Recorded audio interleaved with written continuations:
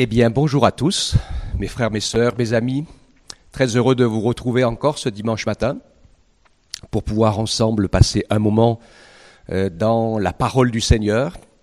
Je voudrais partager avec vous quelque chose qui est aussi sur mon cœur, puisque vous savez que depuis deux dimanches, nous parlons de la bonne manière de construire sa vie, comme la construction d'une maison. Donc nous parlions euh, de après le fondement de Jésus, et puis euh, la pierre angulaire, et puis le fondement de la parole, prophètes et apôtres, puis euh, toute la construction avec euh, les œuvres justes des saints, préparées d'avance par le Seigneur.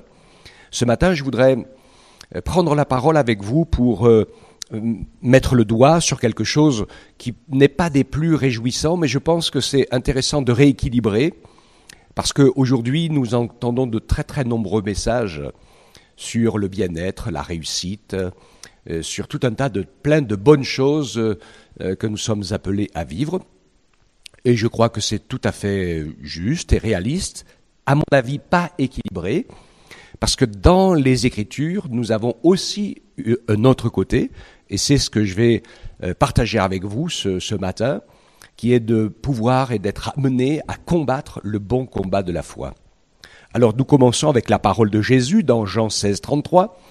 Jésus expliquait un petit peu les moments difficiles qui allaient arriver en leur disant, je vous dis ces choses afin que vous ayez la paix en moi, vous aurez des tribulations dans le monde. Il dit, mais prenez courage, car j'ai vaincu le monde. L'apôtre Paul qui annonçait la parole de Dieu partout et ouvrait les, premières églises dans le monde païen, à un moment donné, donc dans ses visites, acte 14, 22, il dit qu'il allait, annonçant la parole, il fortifiait l'esprit des disciples, les exhortant à persévérer dans la foi, en disant que c'est par beaucoup de tribulations qu'il nous faut entrer dans le royaume de Dieu. Alors vous comprenez bien, et puis il y a de nombreux autres textes de l'Écriture qui parlent de ce côté-là de la vie chrétienne de ce combat contre les réalités, contre tout un tas de choses. On va en parler euh, en détail ensemble, qui nous amène à relativiser euh, sur euh, quelle est notre définition du vrai bonheur, comment le vivre, comment le poursuivre. Je crois que Dieu veut notre bonheur, mais ce qu'il veut surtout, c'est notre réussite spirituelle et notre réussite de vie et la réussite de notre marche spirituelle, la réussite de notre croissance spirituelle euh, va obligatoirement passer par des moments de tribulation et de souffrance. C'est incontournable puisque l'Écriture nous dit que c'est au travers des épreuves et de la souffrance que nous allons apprendre à obéir. Puis en même temps aussi, elles sont, ces épreuves et ces souffrances, absolument nécessaires parce que comme euh, plusieurs d'entre nous, comme Pierre le premier, il y a plein de domaines dans lesquels nous croyons très fort, jusqu'à ce que nous soyons confrontés à des situations compliquées qui nous montrent finalement que nous ne sommes pas si forts que cela. Je me rappelle toujours quand j'étais jeune dans la foi, je, citais ce verset, euh, cette parole de David, éprouve-moi, euh, connais mon cœur, mes pensées, regarde si je suis sur une mauvaise voie. Et euh, dans les, je crois, les heures qui ont suivi, j'ai fait une bêtise immense. Je me suis humilié et je me suis rendu compte. J'ai dit Seigneur, je te demande pardon parce que je me croyais fort euh, je me suis rendu compte que toi, tu étais fort, mais pas moi. Donc j'ai appris la leçon. Merci Seigneur. Alors, le premier élément sur lequel je vais m'arrêter, qui mérite de réfléchir, qui est le bien-être ou le mal-être. Alors nous allons découvrir ensemble qu'il y a un état intérieur, et en cela j'apprécie beaucoup les prédications qui sont faites dans ce domaine, qui parlent beaucoup de tout le travail intérieur qu'on doit faire sur soi-même pour arriver à la paix, au pardon, à la communion, à la communication. Euh, c'est tout à fait essentiel. Mais je crois qu'il faut que nous puissions être conscients que de toute façon, il y aura un certain nombre euh, de combats qui vont nous poursuivre jusqu'au bout et tout un tas de situations qui vont être compliquées. Nous allons lire ensemble dans Éphésiens chapitre 4, le verset 4 à 8, et l'apôtre Paul nous donne vraiment une, une bonne directive. Il nous dit, réjouissez-vous toujours dans le Seigneur. Je le répète, réjouissez-vous. Et il rajoute que votre douceur soit connue de tous les hommes. Je pense que la colère et l'amertume sont des choses qui nous empêchent de nous réjouir. Et que, en fait, la vraie joie, une joie solide et inébranlable, elle doit exister quand le contexte de vie dans lequel je suis, tu es, eh bien normalement ne nous le permettrait pas. Parce que ce n'est pas favorable en apparence, physiquement, etc. Mais la joie, ça va être Jésus qui nous la donne. Donc apprenons à nous réjouir dans le Seigneur, à nous réjouir de sa grâce, de son pardon, de sa bonté, de sa miséricorde à notre égard, car nous ne sommes pas meilleurs que nos pères, mais c'est par la foi dans l'œuvre de Christ que nous sommes rachetés, que nous échappons à la condamnation et que nous pouvons vivre avec une vraie joie, parce que nous vivons dans le pardon et dans l'amour et la communion avec Dieu. Je le répète, réjouissez-vous, que votre douceur soit connue de tous les hommes, le Seigneur est proche. Il est proche de toi, il est proche de moi, il est tout proche. Là, il dit, il est proche, peut-être, il pensait à un moment donné qu'il allait revenir très vite, mais euh, ça va très vite, tout va très très vite, la vie d'un homme va très très vite, et si le Seigneur tarde à revenir depuis des siècles pour essayer de, et pour pas essayer, il va réussir d'en sauver un grand grand nombre, nous savons que notre vie à, nous, elle passe très très vite et que quand ma vie s'éteint à moi, eh ben c'est ma fin du monde. Hein, et donc il faut que je sois prêt. Oui, le Seigneur est proche. Il dit ne vous inquiétez de rien. Et là, on va voir aussi cette, cette, cette définition pour le bien-être ou le mal-être. Faites euh, euh, en toute chose connaître vos besoins à Dieu par des prières, des supplications, des actions de grâce. Demandez et remerciez. Et la paix de Dieu qui surpasse toute intelligence gardera vos cœurs et vos pensées en Jésus-Christ.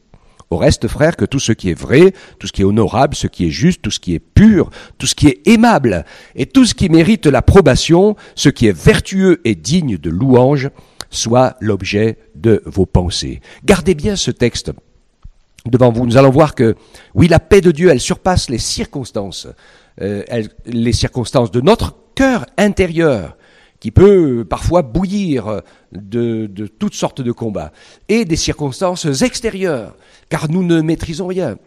Et je pensons à nos frères et nos sœurs qui vivent dans la persécution ou dans des pays en guerre, et qui se retrouvent, malgré eux, entraînés dans des situations qu'ils n'auraient pas voulu. Mais les choses sont ainsi, ils ne peuvent pas choisir. Donc le Seigneur veut nous aider à rester en équilibre entre euh, je vais dire, une pensée déséquilibrée de réussite personnelle et, de, de, de, de comment d'accomplissement de soi, et puis les circonstances de la vie dans laquelle nous sommes. Il faut que nous soyons, que nous veillons à toutes sortes de dangers. Je pense par exemple à ceux d'une introspection excessive. Il y a des personnes qui sont beaucoup dans la culpabilité, beaucoup dans la remise en question permanente et qui sont sans cesse en train d'appuyer euh, leur euh, foi, ce qu'ils pensent, ce qu'ils croient, sur ce qu'ils ressentent. J'ai mis un titre un peu plus bas, on va le retrouver, le sentiment, le ressentiment. Jésus ne s'appuyait pas sur ses ressentiments, il s'appuyait sur l'écriture. Et l'écriture nous rappelle que c'est le Seigneur qui est notre sécurité, qui est notre paix, qui est notre force. Donc attention à une introspection excessive. La, recherche de notre bonheur, souvent, eh bien pour beaucoup, beaucoup, même beaucoup de chrétiens, elle est connectée à notre bien-être physique, aux bénédictions matérielles, on trouve beaucoup ça dans la théologie de la prospérité, où les gens disent, voilà, si vous êtes des bons chrétiens, vous aurez tout ce qu'il vous faut, vous, euh, enfin, donnez-moi beaucoup surtout, et puis Dieu vous donnera en retour. Ça, c'est, des loups ravisseurs, ça, c'est, c'est pas comme ça que ça fonctionne. Le, le Seigneur Jésus nous dit que le royaume des cieux, ce n'est ni le manger ni le boire, et encore moins l'argent et toutes ces choses-là. Donc il faut que nous soyons attention, attentifs. La recherche du bonheur, donc c'est pas d'être connecté à son bien-être physique, aux bénédictions matérielles qui nous entourent, aux réponses positives à toutes les prières de demandes que nous faisons. Parce que je me demande parfois si nous ne prenons pas Dieu pour un distributeur de bénédictions. Le Seigneur veut nous aider à aller vers l'équilibre d'une prière prioritaire. La prière prioritaire, c'est être conscient de la présence et de la souveraineté de Dieu, notre Père qui est au ciel. Que ton nom soit sanctifié et que ton règne vienne. C'est ça la priorité de la prière. C'est Dieu qui est Dieu sur son trône. Nous, nous sommes ses serviteurs et ses servantes, normalement, à son écoute, à ses œuvres, à, sa, parole et à, ses ordres. La primauté de la volonté de Dieu. Quand euh, l'apôtre Paul qui s'appelait Saul de Tarse à l'époque, a rencontré le Seigneur Jésus qui l'a arrêté dans sa folie de persécuteur, euh, il y a eu un choc terrible. Il s'est rendu compte tout d'un coup qu'il luttait contre le Sauveur, contre le Messie, contre celui qui était la, la réponse à la prière des hommes, le juste, le véritable. Et dans cette situation, il nous est dit que, acte 9, 6, tremblant et saisi d'effroi, il dit Seigneur, que veux-tu que je fasse? Et Le Seigneur lui dit Lève-toi, entre dans la ville, et on te dira ce que tu dois faire. Et donc, euh, nous voyons là, moi j'aime beaucoup cette prière de Paul, elle devrait être la prière de tous les disciples de Jésus. Seigneur, que veux-tu que je fasse? Et c'est dans ce sens-là que notre vie doit être orientée, parce que le Seigneur ne veut qu'on fasse rien d'autre que ce qui va nous faire devenir la vraie personne que nous sommes appelés à devenir. C'est ça qu'il faut se rappeler. Et la vraie personne à laquelle nous sommes appelés à devenir, c'est pas quelqu'un de riche, en bonne santé, jeune et fort. Ça, ça c'est la terre, ça. C'est quelqu'un qui peut manifester l'amour de Jésus, la puissance du Saint-Esprit, la grâce de Dieu, qui ressemble au caractère de Jésus. Les premiers chrétiens, enfin les premiers disciples de Jésus, c'est les païens d'autour d'eux qui les ont appelés, euh, chrétiens. Et quand il les appelait chrétiens, ça voulait dire petit Christ. Il dit vous, vous ressemblez à celui dont vous parlez. Ça c'est quelque chose de beau, ça. Hein. Alors Dieu veut nous encourager dans ce sens-là. De Timothée, chapitre 3, verset 12, c'est Paul qui parle à Timothée et il lui dit, Or, tous ceux qui veulent vivre pieusement en Jésus-Christ seront persécutés. C'est une réalité, elle est incontournable. Le monde dans lequel nous vivons gît sous la puissance du malin, il en est le gestionnaire puisqu'il a pris le pouvoir en nous faisant tomber dans le péché, et donc c'est lui qui, dans bien bien des endroits, règne, règne en maître. Donc, à partir du moment où on passe dans le camp de Jésus et qu'on accepte le Seigneur comme son sauveur, que le Saint-Esprit vienne nous habiter, il se passe des réactions même inexplicables. Moi, je me rappelle le témoignage euh, de, deux amis de toujours. Et puis il y en a une qui a rencontré Jésus et qui s'est convertie au Seigneur. Et l'autre qui n'a pas voulu. Elle dit, c'est impossible, je ne peux pas rester ton, ami. Je ne sais pas ce qui se passe, mais quand je te vois, ça me, euh, alors avant, il s'aimait beaucoup, c'était effroyable. Hein. Et là, ce changement de camp spirituel, ça a été insupportable pour l'autre personne qui s'est séparée d'elle. Donc euh, voilà, il y a des choses qui sont qui sont des réalités. On peut pas on peut pas aller contre. Moi, je vois très souvent dans ma marche avec le Seigneur, je vois les gens qui sont neutres. Je vois, c'est facile à voir ceux qui sont habités par des puissances particulières parce qu'ils ont des réactions complètement bizarres dans notre présence. Donc c'est une réalité ce combat spirituel. Notre royaume n'est pas de ce monde. Mais nous, nous vivons avec Jésus. Après, il y a un autre élément aussi qui est hum, indélicat pour notre paix et pour notre euh, comment dirais-je pour notre apaisement intérieur. C'est le combat intérieur. Galates 5, 17 nous dit car la chair a des désirs contraires à ceux de l'esprit et, l'esprit a des en a de contraires à ceux de la chair. Ils sont opposés entre eux afin que vous ne fassiez point ce que vous voudriez.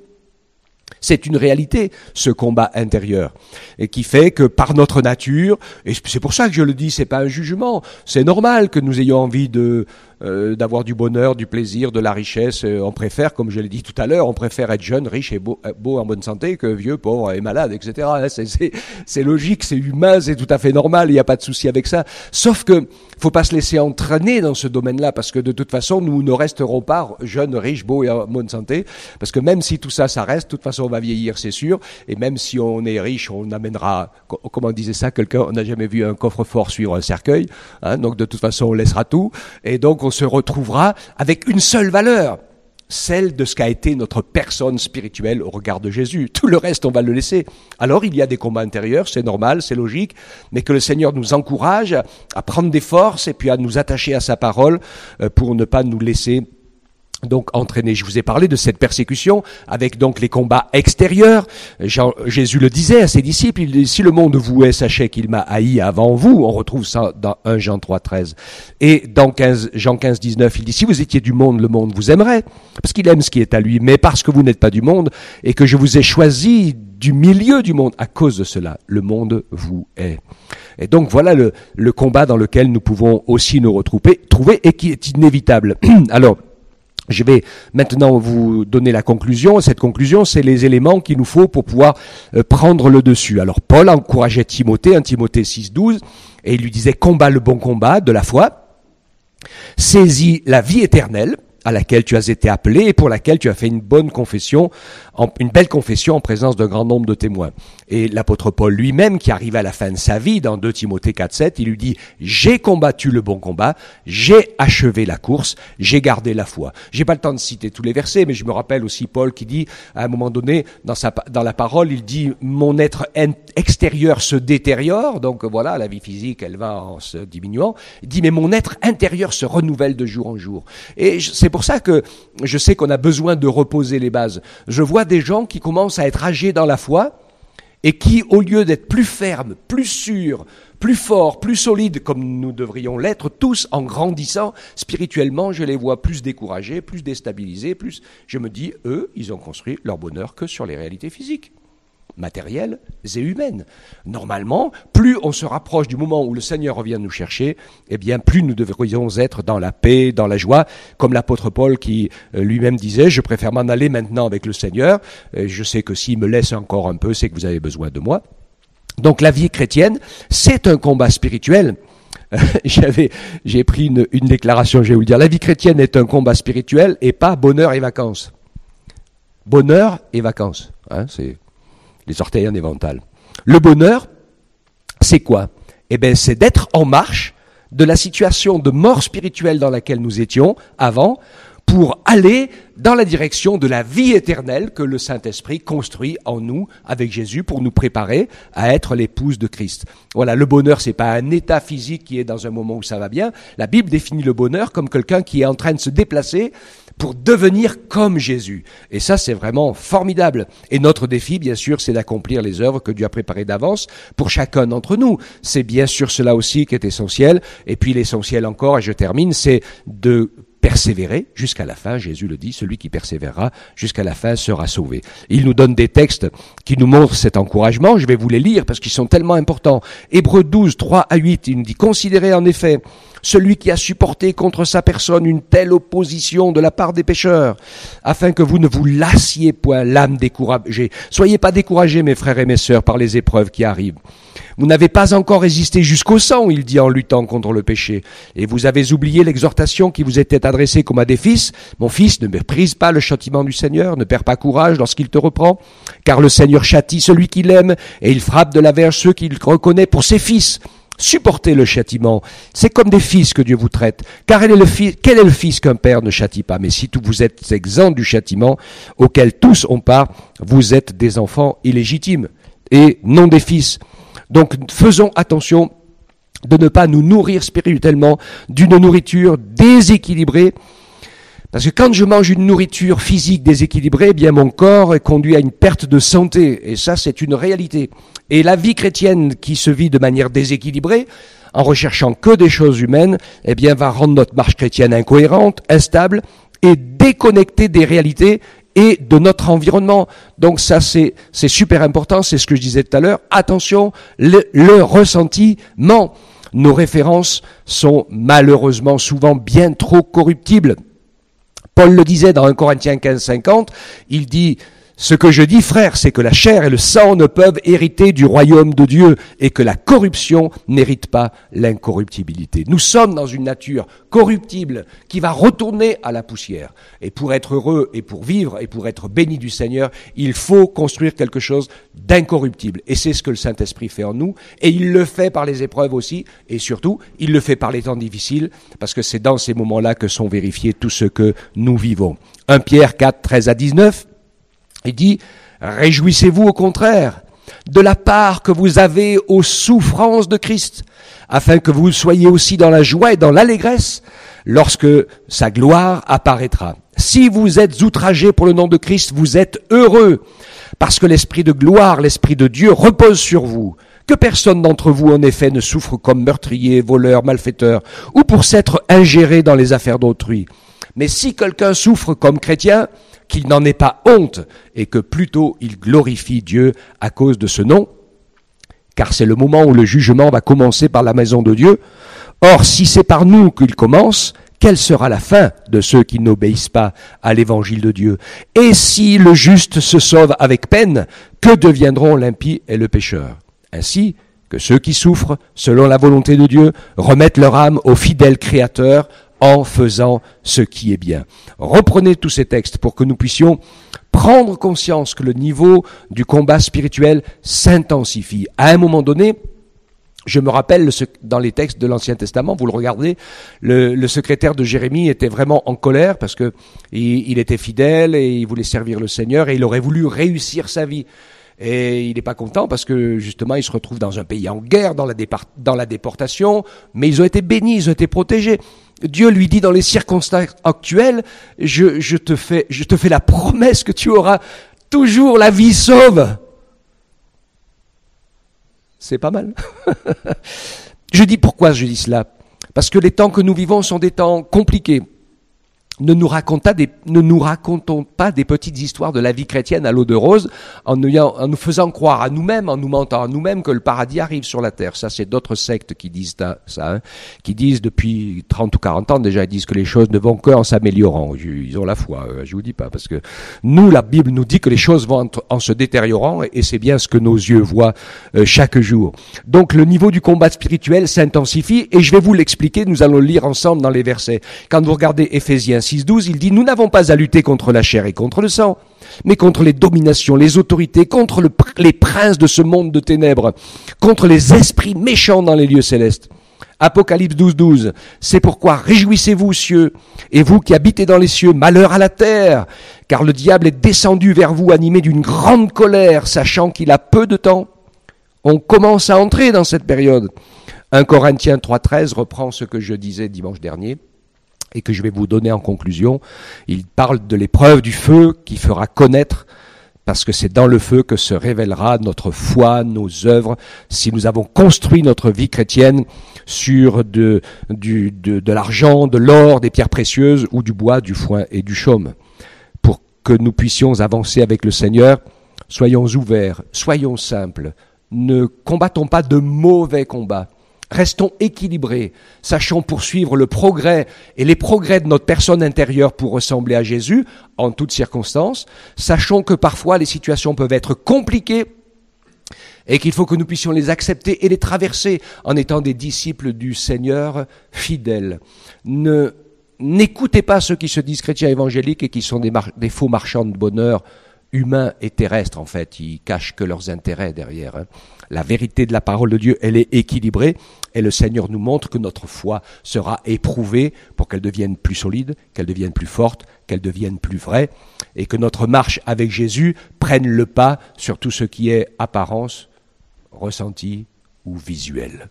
Que Dieu nous fasse la grâce de lui faire confiance en toutes circonstances, d'être conscient du temps dans lequel nous vivons, de lui demander de nous fortifier pour que nous puissions tenir ferme jusqu'à la fin dans ces temps difficiles et que nous continuions à être sel et lumière pour tous ceux qui verront Jésus au travers de nous et se tourneront vers lui avant qu'il revienne, car il revient très très bientôt. Amen. Que Dieu vous bénisse. Nous te louons Seigneur, tu es fidèle et bon, ta parole est la vérité, et la marche chrétienne c'est toujours une marche en équilibre, tu nous donnes, Seigneur, de nous réjouir de la paix que tu mets dans nos cœurs. Tu nous donnes de nous affermir dans la foi et dans la marche chrétienne. Tu nous donnes, Seigneur, de ne pas nous laisser attirer par des chants de sirènes qui nous parleraient d'un bonheur facile et trop simple. Aide-nous, Seigneur, à te suivre sur le chemin de la croix. Aide-nous, Seigneur, à ce que tu sois dans nos cœurs toujours sur le trône et nous à tes pieds. Merci de nous rendre fidèles Merci de nous aider à être prêts quand tu reviendras pour que notre foi, nos œuvres et notre marche chrétienne tiennent bon devant les épreuves que le monde nous prépare. Fais-nous la grâce, Seigneur, d'être fidèles en toutes choses et d'honorer le beau nom de Jésus que tu as partagé avec nous. Que ton nom soit béni. Bénis tous ceux qui écoutent ta parole et fortifie-nous pour que nous soyons de fidèles serviteurs et servantes qui rentre dans ta maison quand tu viendras nous chercher. C'est notre prière, Père, au nom de Jésus. Amen. Amen.